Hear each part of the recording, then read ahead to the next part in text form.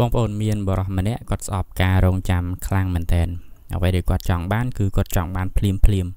គាត់ជាមនុស្សដែលមានចិត្តក្តៅ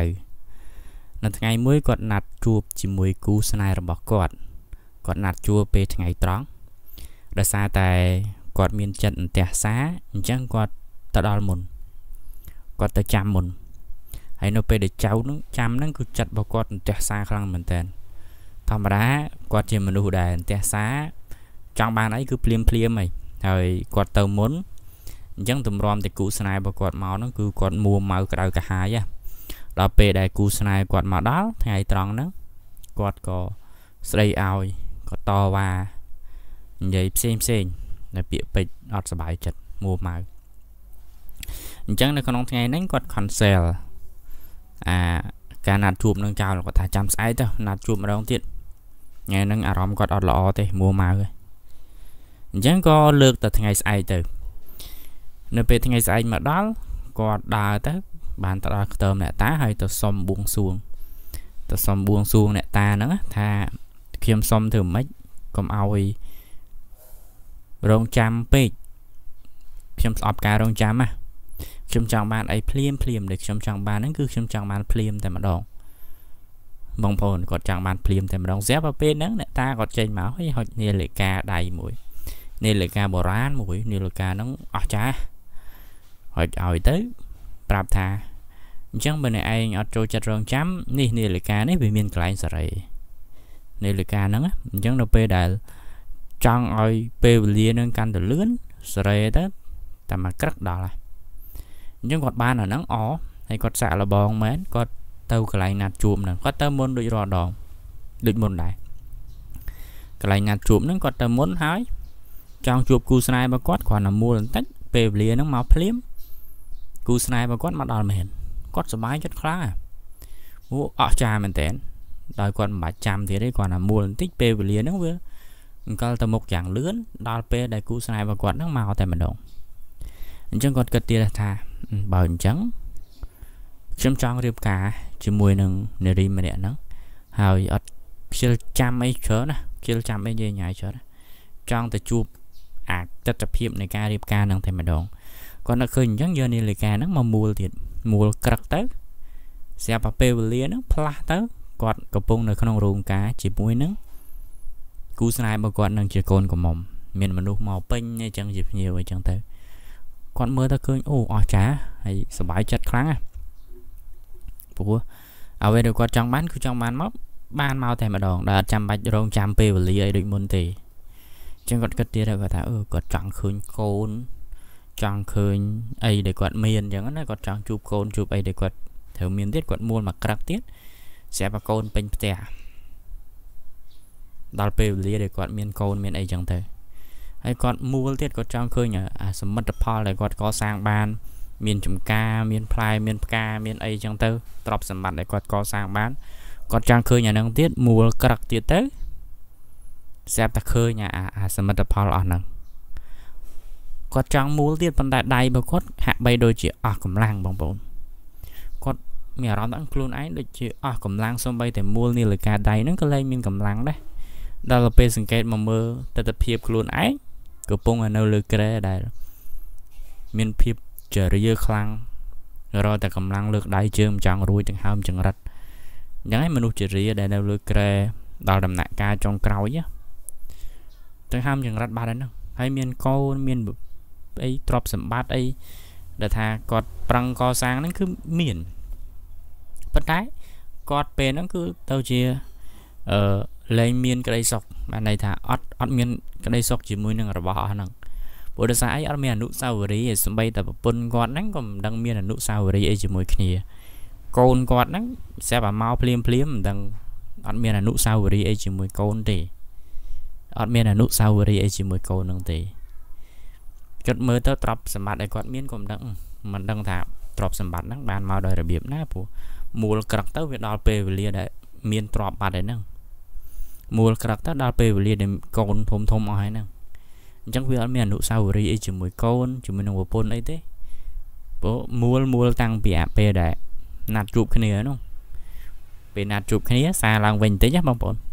ពេលណាត់ជួបគ្នាគាត់ថាមូលមកក្រឹកទៅការមូលមកក្រឹកមានកូនមូលមកក្រឹកមានទ្រព្យសម្បត្តិចង់មូលទៀតអស់កម្លាំងដៃមូលលីងមកដល់ពេលហ្នឹងសួរថាម៉េចវាអត់មានអនុស្សាវរីយ៍អីជាមួយគ្នាអត់មានការចងចាំអត់មានសេចក្តីផ្អែមល្ហែមឬក៏ការលវិញជូរចត់អីក៏អត់មានដែរហើយមើលមកខ្លួនឯងអញចាស់ចរិយាបាត់ហើយហ្នឹងដង្ហើមចង្រិតដេកលើក្រែហ្នឹងចាំតាបើដូចខ្មែរយើងចាំតែពេលសូត្រធរហ្នឹង អញ្ចឹងគាត់នឹកទៅគឺអត់អត់មាននៅអនុស្សាវរីយ៍នឹងមានក្តីសុខគាត់តើថាចង់មូលត្រឡប់មកវិញប៉ុន្តែអាការមូលហ្នឹងវាវាលែងបានព្រោះគាត់ស្លាប់មុនបាត់ទៅហើយស្រាប់តែដាច់ខ្យល់បាត់ទៅហើយដាច់ខ្យល់បាត់ហើយគាត់ក៏ដឹងខ្លួនឡើងវិញនៅពេលដែលដឹងខ្លួនឡើងវិញគាត់គិតថាគាត់មើលមកកាន់ខ្លួនឯងអឺនៅមានកម្លាំងកំហែងតើ មើលមកកាន់ខ្លួនឯងគាត់ថាអឺនៅកំឡោះតាមិនតន់មានប្រពន្ធមានអីណាអញ្ចឹងគាត់គិតថាអឺអាអ្វីដែលគាត់ឃើញហ្នឹងប្រហែលជាការយល់សប្តិរបស់គាត់ទេដឹងអ្វីដែលគាត់ឃើញថាមានប្រពន្ធមានកូនមានអីហើយស្លាប់ទៅហ្នឹងប្រហែលជាការយល់សប្តិទេព្រោះមើលខ្លួនឯងនៅមានកម្លាំងកំហែងនៅកំឡោះនៅឡើយអញ្ចឹងដល់ថ្ងៃដែលគាត់ត្រូវតាណាជួបគាត់ក៏ទៅជួបគូស្នេហ៍របស់គាត់ដូចមុនដែរ គាត់ទៅពីមុនលឿនដូចគ្នា ទៅមុនមុនមុនម៉ោងដែលត្រូវណាត់ជួបប៉ុន្តែគាត់ធម្មតាគាត់មានអាទម្លាប់មួយចិត្តអន្ទះសារចង់ជួបចង់បានអីភ្លាមភ្លាមគាត់ក៏នៅតែយើងផ្ទះសារនៅអត់សុខអញ្ចឹងឯងតែស្រាប់តែពេលបានជួបគូស្នេហ៍របស់គាត់នៅពេលដែលគូស្នេហ៍គាត់មកដល់គាត់លែងមានអារម្មណ៍ខឹងមួយគូស្នេហ៍របស់គាត់ដូចមុនហើយគាត់បែរជាមានអារម្មណ៍រីករាយទៅវិញព្រោះ គាត់គាត់ថាអឺអានោះវាពិតជាយល់សប្មែនហើយហើយឥឡូវខ្ញុំបានមកជួបគូស្នេហ៍របស់គាត់ចឹងណាហើយគាត់ក៏មានចិត្តរីករាយឡើងវិញលែងដូចមុនហើយលែងស្ដីបន្ទោសលែងខឹងគូស្នេហ៍របស់គាត់ដូចមុនហើយអញ្ចឹងរឿងនេះបានជាកតិថាបងប្អូនមើលពេលខ្លះយើងចេះតែចង់ឲ្យលឿនលឿនលឿនលឿនប៉ុន្តែអាលឿនហ្នឹងគឺពេលវេលាតែអស់ទៅគឺចប់ហើយពេលវេលាយើងគឺចប់ហើយ អញ្ចឹងនរណាក៏ក៏ចង់បានផ្លែផ្កាចង់បានអីដែរយើងមានគោលដៅយើងគិតថាដាក់គោលដៅនេះមួយឧទាហរណ៍ចង់បានផ្ទះចង់បានឡានចង់បានម៉ូតូដែលខ្លួនឯងចង់បានពិតជាចង់បានហើយចង់បានភ្លាមភ្លាមហើយប៉ុន្តែពេលវេលាគឺវាពិតជាមានតម្លៃយើងអត់អាចសារយើងអត់អាចអីបានទេសារទៅមុខក៏មិនបានអាពេលវេលាដែលកន្លងហួសហ្នឹងសារតែក្រោយវិញក៏មិនបានអញ្ចឹងមានពេលវេលាចង់ធ្វើអីគឺត្រូវតែធ្វើកុំចាំអានេះ អានេះអានេះវាវាជ្រៀតចូលទៅក្នុងប្រធានបទហ្នឹងតិចថាបើយើងចង់ធ្វើអីគឺធ្វើទៅកុំចាំចាំចាំហើយក៏កុំទះសារខ្លាំងពេកធម្មតាយើងមានគោលដៅអីមួយវាមិនមែនភ្លឹងតាគោលដៅនឹងតែម្ដងទេវាមានអីផ្សេងផ្សេងនៅជាប់នឹងដូចយើងធ្វើដំណើរអញ្ចឹងមានគោលដៅណាមួយដែលយើងចង់ឲ្យទៅដល់បើយើងបដោតតែចង់ឲ្យឆាប់ដល់ឆាប់ដល់ឆាប់ដល់ឆាប់ដល់ទីមួយចិត្តរបស់យើងនេះវាអន្ទះសារវាក្តៅអន្ទះអន្តែង ហើយមានអារម្មណ៍ថាផ្លូវនឹងឆ្ងាយម៉េះផ្លូវនឹងឆ្ងាយម៉េះព្រោះយើងចង់ទៅដល់លឿនពេកហើយយើងអត់បានកយគុណមើលអតិសភាពតាមដងផ្លូវទេប៉ុន្តែបើយើងដាក់ចិត្តបន្តិចទៅបដាមើលតាមដងផ្លូវមើលតាមព្រៃព្រឹក្សាមើលតាមទេសភាពតាមដងផ្លូវហ្នឹងដែលយើងមានជួបអីមើលជួបអីមើលកយគុណនៅសម្រាប់របស់វាទាំងអស់នោះផ្លិចផ្លិចតិចទៅដល់គោលដៅដែលយើងចង់ទៅបាត់ ហើយអត់មានអារម្មណ៍តែអន្តែងក្តៅកាហាយអីទេប៉ុន្តែយើងអាចមានអនុស្សាវរីយ៍ចំពោះទស្សនវិជ្ជាអាអតិសភាពតាមដងផ្លូវហ្នឹងជាច្រើនដែលយើងមានអញ្ចឹងនេះបងប្អូនសាកគិតមើលតើបងប្អូនជាមនុស្សដែលមានទម្លាប់ផ្ទះសានតែងចង់បានអីមួយភ្លាមភ្លាមអត់ចូលចិត្តការរងចាំឬក៏យ៉ាងម៉េចបងប្អូនយករឿងហ្នឹងយកមកគិតឡើងវិញក៏ដូចជាកតិឧទាហរណ៍ដែលដែលមានដែលខ្ញុំបាននិយាយមកហ្នឹងបងប្អូនអាច យកមកគិតឡើងវិញថាដូចផ្លូវអញ្ចឹងបើសិនណាជាយើងផ្ទះសាចង់ទៅដល់គោលដៅពេកវាមានតែការផ្ទះសាក្តៅកាហាយខឹងអ្នកនេះខឹងអ្នកនោះទេពេលខ្លះស្ទះផ្លូវខឹងអាស្ទះផ្លូវហ្នឹងពេលខ្លះជាប់គេឆ្លងអាឆ្លងកាត់ផ្លូវហ្នឹងយើងវាប្រអងឬក៏ប្រឈប់លបឿនរថយន្តមួយយើងខឹងទៀតទៀតប៉ុន្តែបើយើងងាកមកមើលទេសភាពតាមដងផ្លូវវិញពេលខ្លះវាអាចទៅជាអនុស្សាវរីយ៍ឬក៏យើងមិនស្គាល់កន្លែងនេះកន្លែងនោះមានអីខ្លះចឹងទៅ ដូចគ្នាទៅជាមួយនឹងការរងចាំរបស់យើងនិងសមិទ្ធផលអីមួយពេលខ្លះវាអាគោលដៅហ្នឹងវាជាផលមួយផ្នែកប៉ុន្តែមួយផ្នែកធំមួយទៀតគឺយើងបានសាងនៅអនុស្សាវរីយ៍យើងបានស្គាល់យើងបានដឹងយើងបាន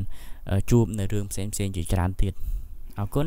សង្ឃឹមថាវីដេអូមួយនេះនឹងក្លាយទៅជាប្រយោជន៍សម្រាប់បងប្អូនយើងអ្នកស្ដាប់ទាំងអស់គ្នាហើយក៏ជឿជាក់ថាបងប្អូនទាំងអស់គ្នានឹងចូលរួមនៅក្នុងការ share វីដេអូមួយនេះ ចែករំលែកបន្តបន្តទៀតតាមបណ្ដាញសង្គមទៅបងប្អូនស្ដាប់ដល់ទីនេះឬក៏ដល់ចប់ជួយ comment ប្រាប់ផងហើយយើងជួបគ្នានៅក្នុងវីដេអូខាងក្រោយខាងក្រោយទៀតសូមអរគុណនិងសូមជម្រាបលា